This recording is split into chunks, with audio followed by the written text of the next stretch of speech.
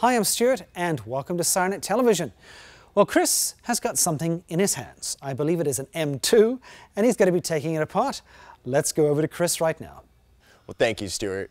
Whelen Engineering's M2, this one happens to be the AC variant, so amber diodes, clear outer polycarbonate lens, available in solid colors, split colors as well. So if you're looking for a red-blue split, red-white split, it's got you covered. For the solid colors, like I mentioned, this happens to be a clear lens. You can get a color matched as well. So if you'd like your blue to have a blue lens, red to have a red lens, go ahead, order is appropriate. I'm going to show you what's inside the lens here to give you a better idea of how the electronics and the diodes are set up prior to the optics in the front here that boost them from the electronics board inside here.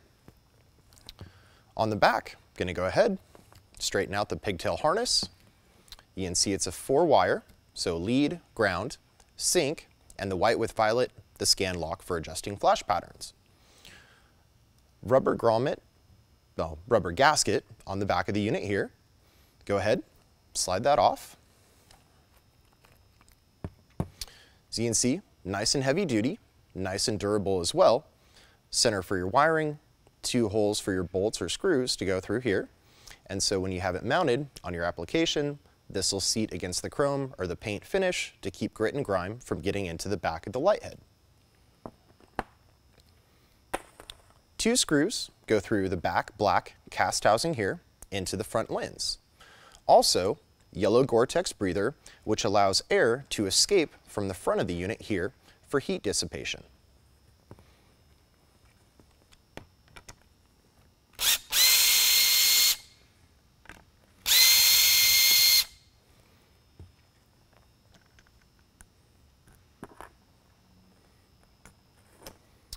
Two little black screws here.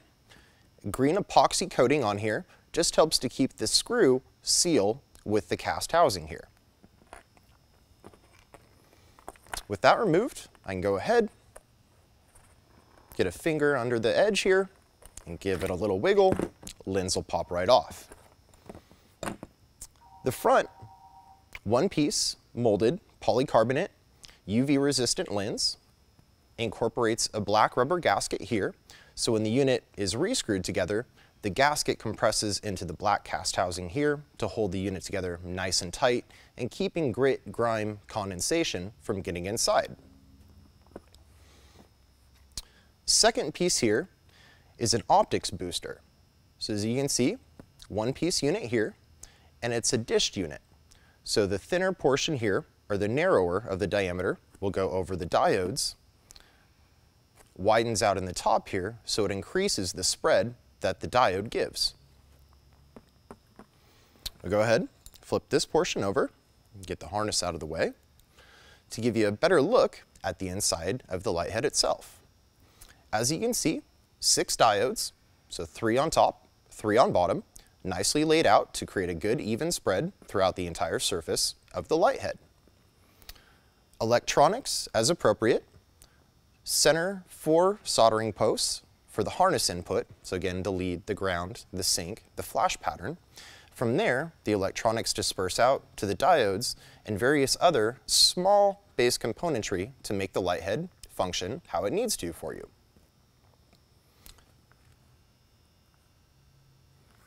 You can see here the lip in the cast housing is where the gasket here will push into to keep it nice and solid for your application and nice and solid for the light head itself. Again, there's no parts in here that'll wiggle loose. Goes together very nice, very tightly, so no condensation, no grime, no vibration or anything to wiggle loose. So if this is going on rigs that are gonna see a lot of time off the pavement, there's no filaments, nothing to wiggle loose or break on you like in old generation halogen components. So the optic portion here It'll go ahead, place itself back over onto the front. Lens here, slide that back into place. Gonna go ahead, give it a nice little press down to get the gasket lined back and pressed in to the black. Go ahead, flip it over. The two screws will go back in place to hold the unit together.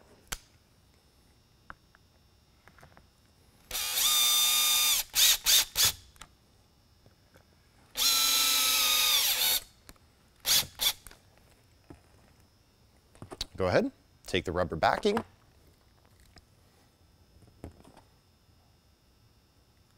slide that back down the pigtail here. And then for your mounting use, if you'd like, you can get an additional black flange or a chrome flange. Goes around the light head just to dress up the application and the surface that it's been affixed onto. So I'm going to go ahead, put power to it. It's a 12 volt specific light head.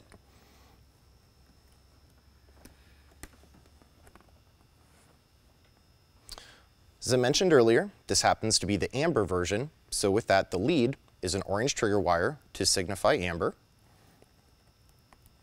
Let's go ahead, put that to the lead, connect the black to the ground, and there you have it. Light head flashing away, nice and bright. If you go ahead, take the scan lock, momentarily tap it to positive 12 volts, it'll adjust the flash pattern. Just go ahead, give it a few taps here to go ahead, run it through a few patterns so you can see a few of the modes it offers.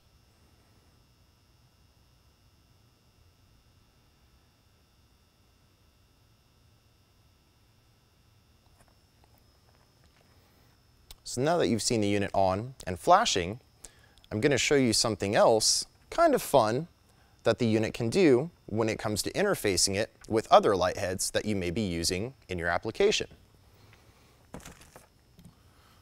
I happen to have one of Whelen Engineering's Vertex LED light heads. This one happens to be amber as well. Both light heads offer solid flashing and that all diodes come on at the same time. So neither one happens to be a split variant. So in the case here, the solid amber and the solid amber of each style light offers the same flash patterns when it comes to the phasing.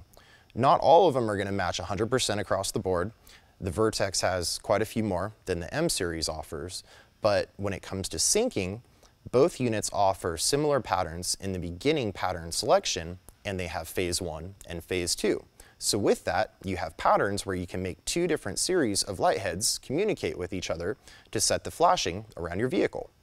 So with that, I'm gonna go ahead, reset the M2 here quickly, twist some wires together, light up both of them to show you exactly what I'm talking about here. On the M2, since I've gone ahead, run it through some flash patterns, I'm gonna go ahead and do a default pattern reset with it quickly.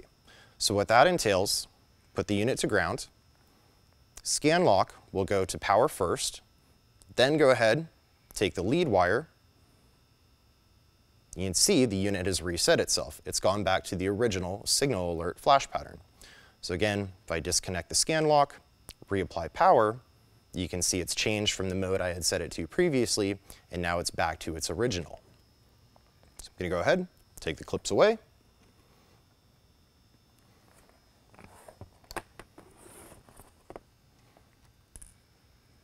Just going to double check, make sure the vertex hasn't been set to something different and that I don't need to reset it as well.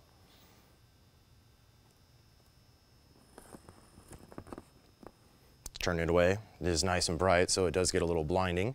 So looks the same. I'll go ahead, disconnect the wires here.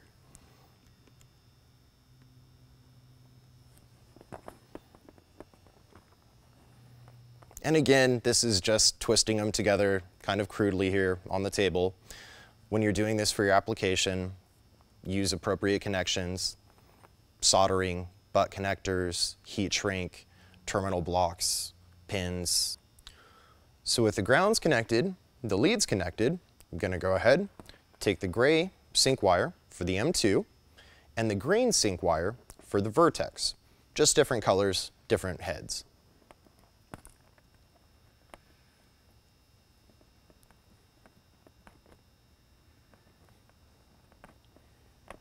So, three wires, quickly twisted together here. Gonna go ahead, take the alligator clips, turn the units back on. So as you can see, both heads, signal alert pattern, in this case, they happen to both be on a phase one variation. So with that, the phase one simultaneous flashing. Let them go for a second, just so you can go ahead, get a good feel for how the Vertex and the M2 can blend together for use on your application. And you can see that with the sync wires connected between the two light heads, the pattern pulse is always going to stay the same. It's not going to start up on you looking the same and then after a couple minutes into the light heads being on, get off pulse from each other. It just happens to be that with some light heads, they both have the same pattern. When they're not synced, they'll kick on, look similar, but after a few seconds, kind of like car blinkers, the rhythm of the flashing will get off get back on, go back off, and get back on. In this case, everything will stay completely synchronized throughout the entire time it's on. So a few minutes, a few hours, a few days even, everything will stay the same. I'm gonna go ahead, take power away here. I'm gonna advance the flash pattern on the M2 just so you can see how the phase one and phase two variation will work for having an alternating between the two.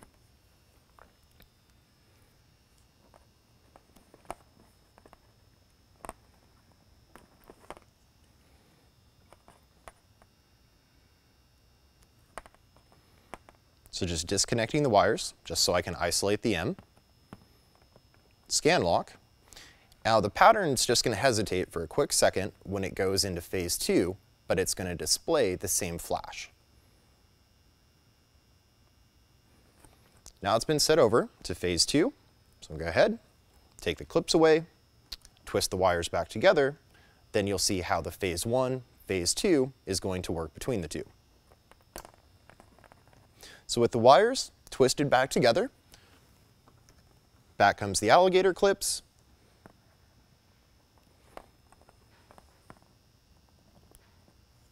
And there you have it. light heads come alive, 12 volts is applied. Same flash pattern, phase two, phase one. So that gives you the alternating effect. And again, both light heads connected together through the communication synchronization wire.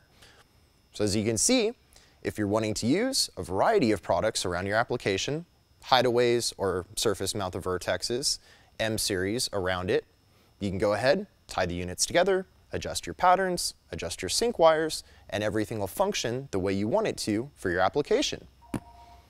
So there you have it.